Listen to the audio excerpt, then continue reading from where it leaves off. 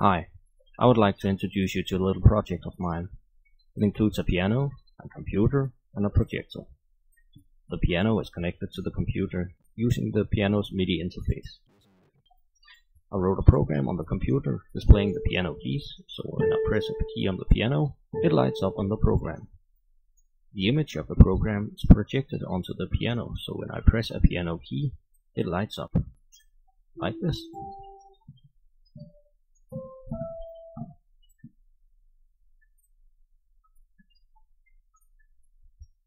The program can read MIDI files and light up the keys on the appropriate time. That allows me to train myself on playing the piano.